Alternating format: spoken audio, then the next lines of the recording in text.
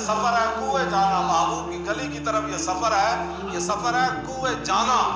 तो कैसे कदम कदम बलाए। कदम कदम बलाए नहीं जी, कदी बदर है, कदी ओद मैदान ओद हज़रत हंसला हजूर की तरफों खड़े सन।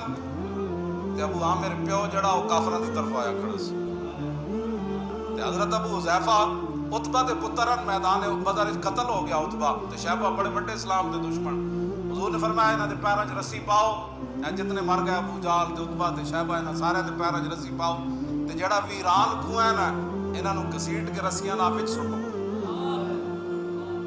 जो हज़रत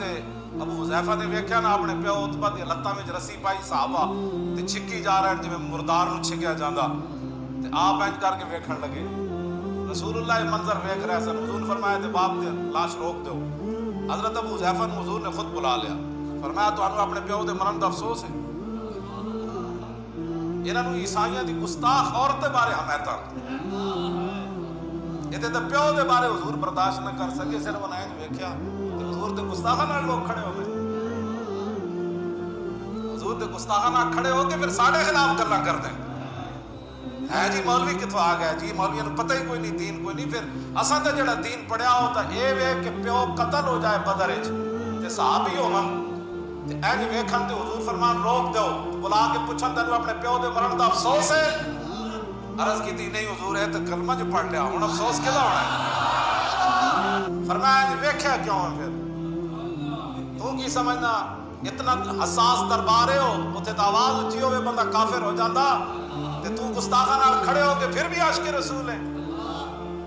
ਫਿਰ ਤੂੰ ਜਿਹੜਾ ਖਤਮ ਨਬੂਵਤ ਡਾਕੂਆਂ ਨੂੰ ਵੋਟ ਦੇ ਕੇ ਫਿਰ ਵੀ ਤੂੰ ਆਸ਼ਕ ਰਸੂਲ ਹੈ ਜਦੋਂ ਇੰਜ ਵੇਖਿਆ ਨਾ ਤੇ ਹਜ਼ੂਰ ਨੇ ਫਰਮਾਇਆ ਇਧਰ ਆਓ ਉਹਨਾਂ ਕਿਹਾ ਕਿਉਂ ਤੁਸੀਂ ਵੇਖਿਆ ਅਰਜ਼ ਕੀਤੀ ਹਜ਼ੂਰ ਮੈਨੂੰ ਇਹਦੇ ਮਰਨ ਦਾ ਅਫਸੋਸ ਕੋਈ ਨਹੀਂ ਮੈਂ ਤੇ ਇਹਦੇ ਮਾਰਨ ਵਿੱਚ ਖੁਦ ਸ਼ਰੀਕ ਸੀ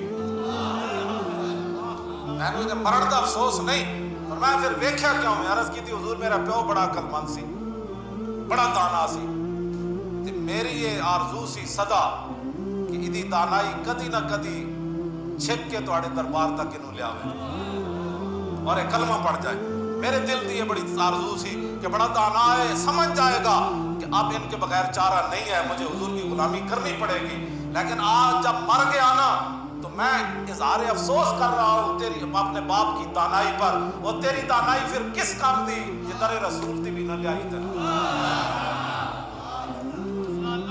ये इतना नाजुक दरबार है असं उन्होंने गल् चौबी घंटे करने अपने आप को बिल्कुल कलमा शरीफ पढ़न तो बाद फिर गल मुक जाती